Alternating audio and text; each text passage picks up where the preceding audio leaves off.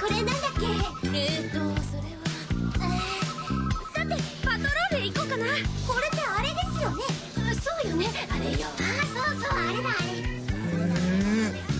アート仕事昼飯まだだろよかったらどうだ？いやちょっと胸がいっぱいでな。ゆうきさあ吐きなさいみんな揃って何企んでんの？別に企んでなんて。ああの思いっきり怪しい態度何？カツオまで自分のカツ丼くれたのよ。気味悪いじゃない。痩せ我慢しなくていいのよ。いつの間に？最愛の彼が遠くへ行ってしまったんだもの。今日の遅刻だっていつもの遅刻と違う遅刻かもしれない。遅刻遅刻って言わないでよ。もしかして一晩中泣いてたりしたのかも。東海林巡査長私寂しいの。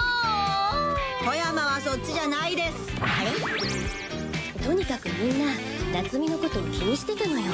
落ち込んでるだろうからそっとしといてあげようって。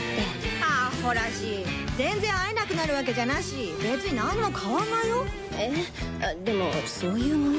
あんた人の心配するよりも自分の心配すれば。お何のことよ？お。はい辻本じゃあ夏美さん元気でであの自分